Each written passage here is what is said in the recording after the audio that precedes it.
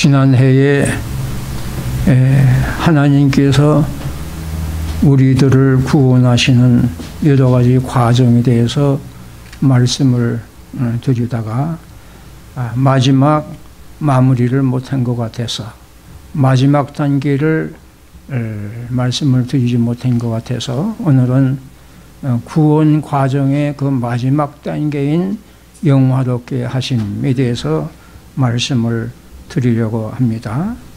오늘 같이 읽은 본문 말씀 29절에 보면은 하나님이 미리 아신 자들로 또한 그 아들의 형상을 본받게 하기 위하여 미리 정하셨으니 하나님은 어, 과거와 현재와 미래를 모든 것을 다 아십니다. 그래서 구원 받을 자를 벌써 미리 아셨다는 것입니다. 그리고 그들로 하여금 그 아들, 즉 하나님 아들의 예수 그리스도의 형상을 담게 하기 위해서 미리 정하셨다. 바로 정하셨다는 것은 예정하셨다. 그런 뜻입니다. 그 다음에 30절 보면은 또 미리 정하신 그들을 또한 부르시고 부르신 그들을 또한 의롭다 하시고 의롭다 하신 그들을 또한 영화롭게 하셨느니라. 예정자 예정된 자를 하나님께서는 때가 되면 또 부르십니다. 그래서 부르신 자들을 또 의롭다 하시고 의롭다 하신 자들을 마지막에는 영화롭게 하신다. 이렇게 기록이 되어 있습니다. 여기 네 가지 단계를 말씀하고 있습니다. 어, 예정과 그리고 부르심과 의롭다 하심 그리고 영화롭게 하심 영화롭게 하심이 제일 마지막입니다. 근데 성경 전체를 살펴보면은 사실은 이 네 가지로 요약을 했지만은 더 많이 있습니다. 아, 첫째로 하나님의 예정, 그 다음에 때가 되면 하나님이 복음을 통해서 부르시죠. 어, 구원받을 자를 부르십니다. 그 다음에 거듭나게 하십니다. 성령으로 거듭나게 하시고 또 회개와 믿음을 주셔서 어, 이렇게 에, 또 의롭다 함을 받게 하시죠. 이 회개와 믿음도 하나님께서 주셔서 또 그 다음에는 어, 믿는 사람들을 의롭게 여기어 주시고 또 하나님의 자녀 삼아 주시고 그리고 주님의 형상을 닮아갈 수 있도록 계속해서 성화시켜 줍니다. 그리고 마지막에는 영화롭게 이 영화롭게 되는 것이 구원의 제일 마지막 단계에 있는 것입니다. 영화롭게 하신다고 하는 말씀은 우리의 영혼과 아, 육신이 완전히 성화되어서 예수 그리스도의 형상으로 완전히 담게 되는 것을 말하는 것입니다. 아, 그런데 여기 본문에 보면은 영화롭게 하셨느니라 그렇게 했어요. 영화롭게 되는 것은 우리가 미래에 예, 앞으로 되어질 일인데 여기 본문 말씀에 보니까 영화롭게 하셨느니라고 과거형을 쓰고 있는 것입니다. 제 생각으로는 하나님께서는 한 번 구원하시기로 예정하시고 그리고 의롭다 함을 받은 자는 반드시 구원을 해 주실 것이 틀림없기 때문에 벌써 어, 영화롭게 된 거와 마찬가지로 여기서 기록한 줄로 압니다. 이 영화에 대해서는 크게 두 가지로 나눌 수가 있습니다. 아, 첫째는 우리 영혼이 영화롭게 되는 것이고, 두 번째로는 우리 육신도 영화롭게 되는 것. 이 두 가지가 있습니다. 첫째로 영혼의 영화에 대해서 말씀을 드립니다. 우리 신자들이 이 세상에서 살다가 죽으면은 어, 영혼이 그 육신으로부터 떠나는 것입니다. 아, 그, 그 떠나서 어디로 가느냐? 하나님께로 갑니다. 천국으로 갑니다. 그리고 몸은 어, 땅 속에 묻혀서 흙으로 돌아가게 되는 것입니다. 예수님께서 함께 십자가에 못 박혀 달려서 달, 그 달리실 때에 그 강도 어, 둘이 양편이 있었죠. 근데 한편 강도가 회개함으로 오늘 네가 나와 함께 낙원에 있으리라 이렇게 말씀하셔서요. 그러니까 이, 이, 그 강도, 이 회개한 강도가 아, 지금 어, 오늘 죽을 텐데 오늘 네가 함께 낙원에 나와 함께 낙원에 있으리라. 그러니까 오늘 죽으면 즉시 주님이 계신 낙원으로 인도함을 받는다.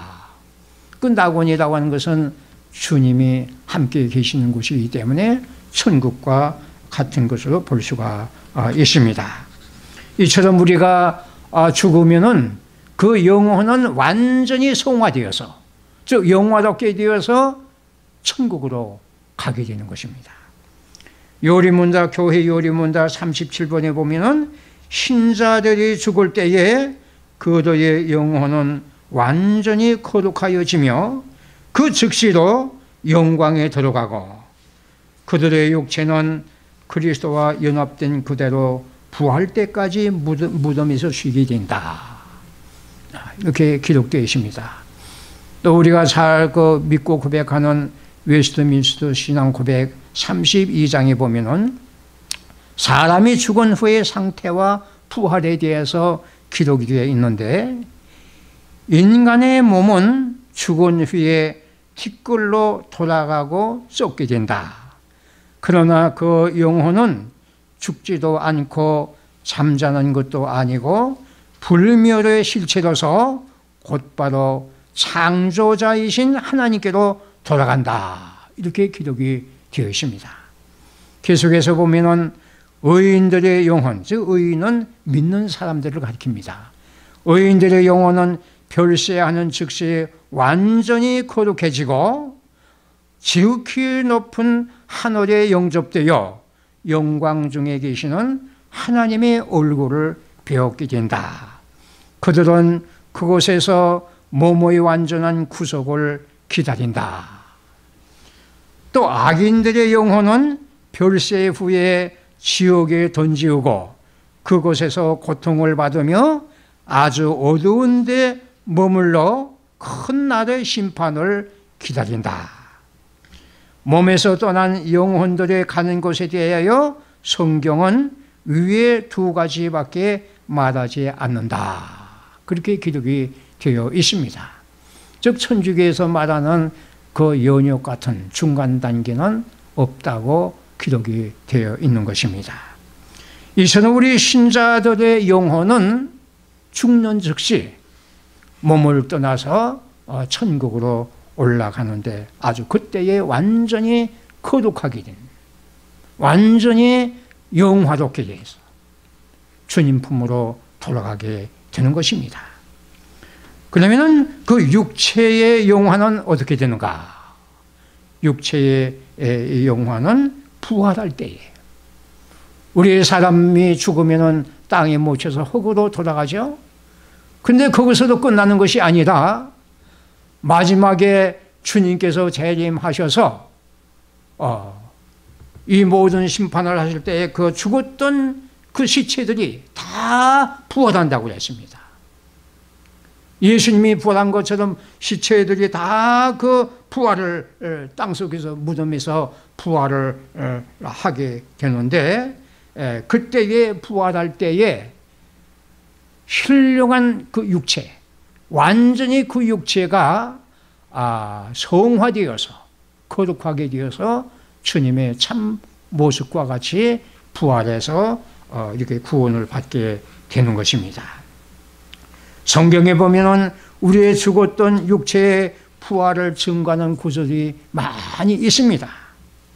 빌립보서 3장 21절에 보면은 그가 만물을 자기에게 복종하게 하실 수 있는 자의 역사로 우리의 낮은 몸을 자기 영광의 몸의 형체와 같이 변케 하시리라.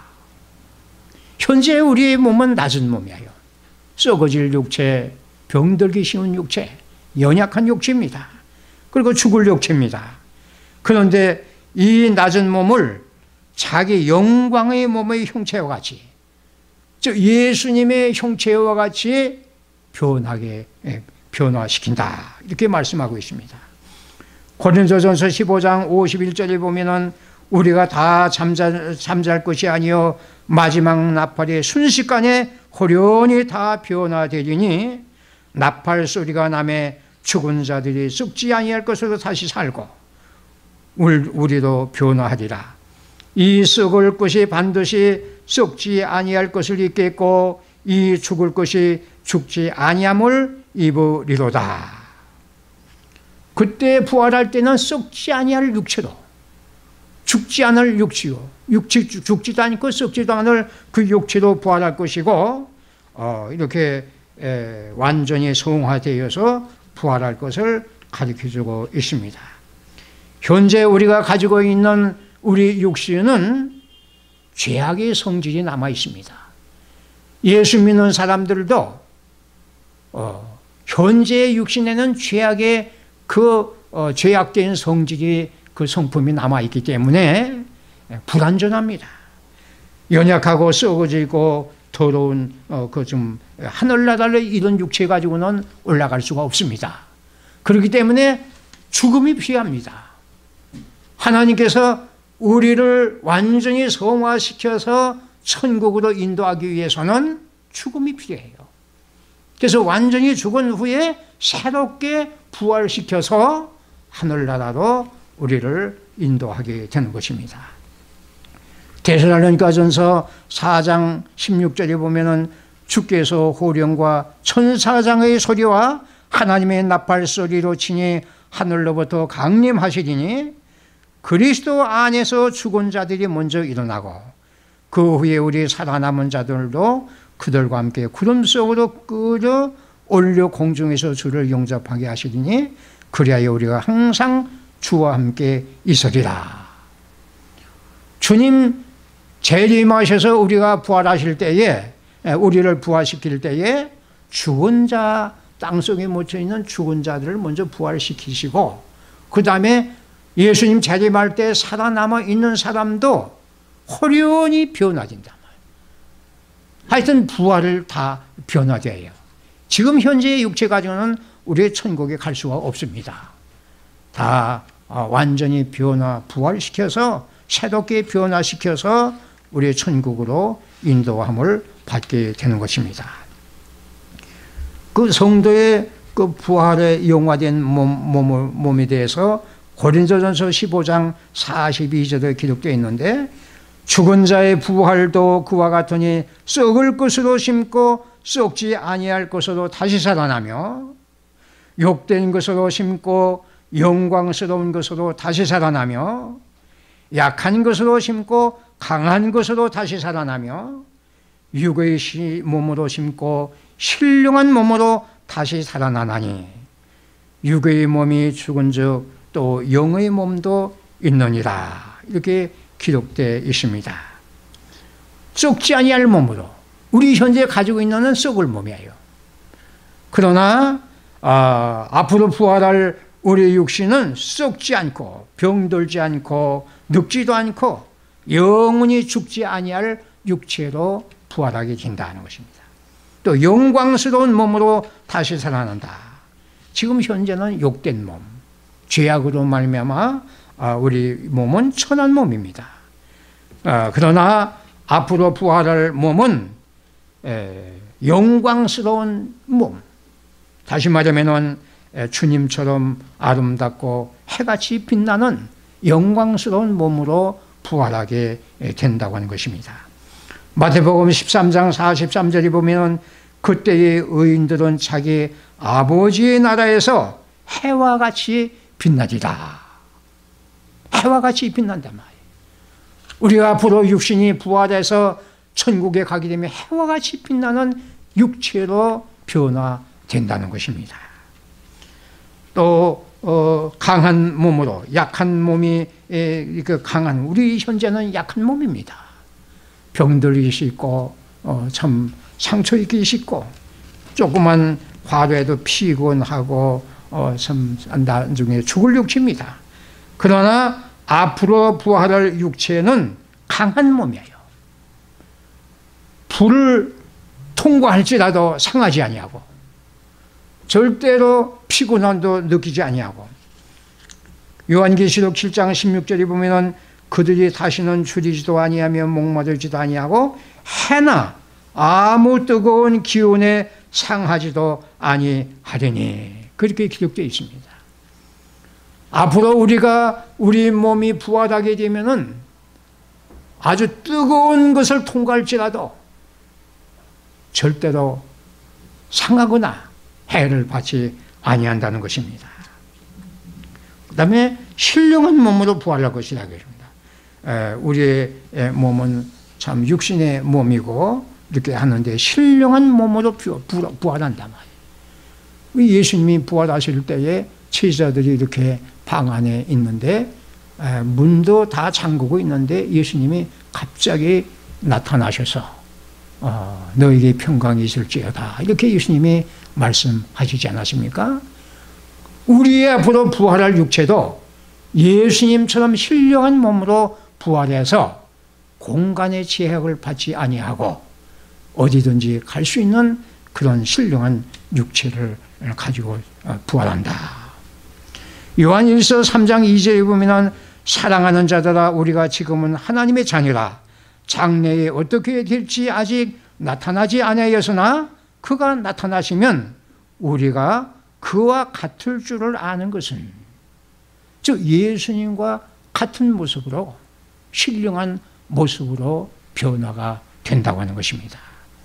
그러니 얼마나 감사합니까? 우린 그런 소망을 가지고 사는 것입니다. 그리고 성경에 보면은 마지막 때에는 다른 피조물까지도 다 새롭게 변화가 된다고 했습니다. 로마서 8장 21절에 보면은 그 바라는 것은 피조물도 썩어짐의 종로로 한 데서 해방되어 하나님의 자녀들의 영광의 자유에 이르는 것이니라. 피조물이 다 이제까지 함께 탄식하며 함께 어, 고통하는 것을 우리가 아나니 이렇게 기록이 되어 있습니다. 우리 사람들만 이 썩어질 육체에서 고통하면서 부활을 기다리는 것이 아니라 이 모든 어, 다른 이 피조물도 마지막에는 어, 이렇게 새롭게 예, 변화되기를 바라보고 있다고 하는 것입니다.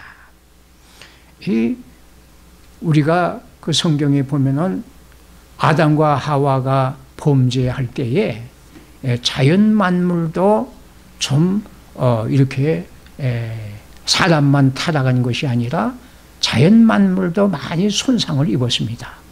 그래서 가시덤불이 생기고 또 얼굴에 땀을 흘려야 우리가 먹고 살게 돼 있고 어, 이 세상에는 또 강육 약식 그뭐 이저 그 사나운 짐승들이 그 새끼들 그 뭐야 이 사슴 같은 거 잡아먹는 거 사자들이 잡아먹는 거 보면 얼마나 잔인한지 알 수가 없어요. 이게 다 그때의 타락한 결과입니다.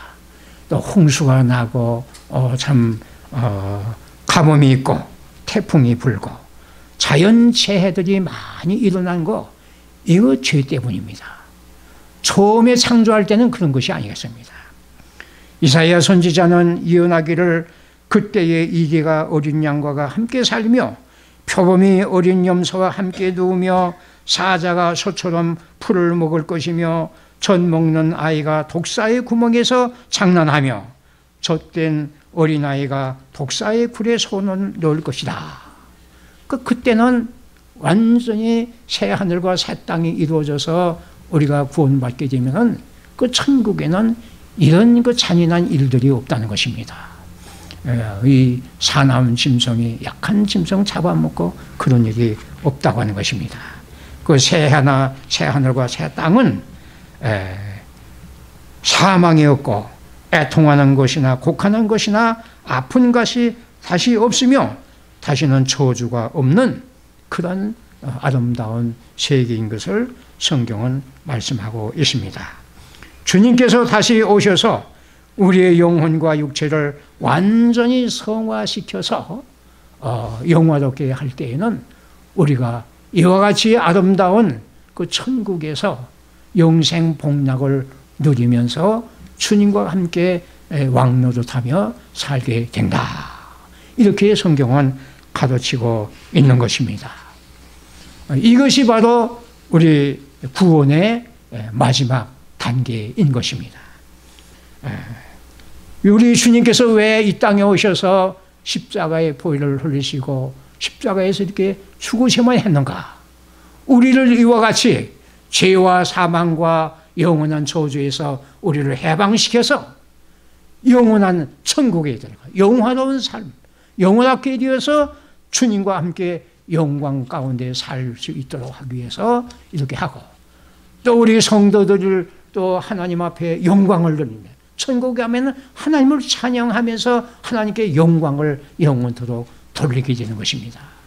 예, 이런 하기 위해서 우리 주님이 이 세상에 오셔서 우리 계속의 주목을 죽으시고 피를 흘리셨던 것입니다. 아, 요한일서 1장 3절에 보면은 주를 향하여 이 소망을 가진 자마다 그의 깨끗하신과 같이 자기를 깨끗게 하느니라. 이런 소망을 가지고 사는 우리 성도들은 이 땅에서 사는 동안 거룩한 삶을 연습을 해야 되는 거예요. 주님의 형상 담도록 깨끗한 자기를 깨끗한 삶을 살아갈 수 있도록 우리가 훈련을 하고 거룩한 모습을 닮아져 나가야지 갑자기 그렇게 주님 오셔서 되는 것이 아닙니다. 온성도 우리는 그리스도의 형상을 이 땅에서 닮아져 나가다가 아, 죽은 후에는 완전히 영육이 성화가 아, 되게 된 것입니다. 로마서 8장 10절에 보면은 자녀이면 또한 후사 곧 하나님의 후사요 그리스도와 함께 후사니 우리가 그와 함께 영광을 받기 위하여 고난도 함께 받아야 될 것이니라. 생각컨대 현재의 고난은 장차 우리에게 나타날 영광과 속히 비교할 수 없다다. 이 천국의 이런 영광스러운 영화롭게 될 그 소망을 가지고 사는 사람들은 이 땅에서 주님을 위해서 고난받는 거, 잠깐 동안 고난받는 거 아무것도 아니다. 우리는 그런 믿음을 가지고 영원한 소망을 바라보면서 우리가 이 땅에서 어, 여러 가지 고난을 인내하며 어, 자신을 또 거룩하게 하는 삶을 살아가야 되겠습니다. 기도하십시다. 아버지 하나님, 오늘은 우리 하나님께서 우리 죄인들 하나님 앞에서 영원히 멸망받을 수밖에 없는 저희들을 구원하기 위한 그 구원의 마지막 단계인 영화롭게 하심에 대해서 말씀을 증거를 했습니다. 아버지 하나님 저희들로 하여금 우리 주 예수 그리스도를 통해서 죄의 사함을 받고 또 구원을 받았사오니 앞으로 그런 소망을 가지고 이 땅에서 사는 동안 우리 자신을 거룩하게 우리가 아, 이렇게 닦고 우리 거룩한 삶을 살아갈 수 있도록 성령께서 도와주시옵시고 그리고 이 땅에서 여러 가지 고난을 받을지라도 앞으로 우리가 이렇게 얻을 그 영화로운 삶, 그 소망을 가지고서 모든 이 땅의 고난을 다 이기고 승리하면서 살아갈 수 있는 은총을 저희들에게 내려 주시옵소서. 우리 주 예수님의 이름 받들어 기도 올리옵나이다. 아멘.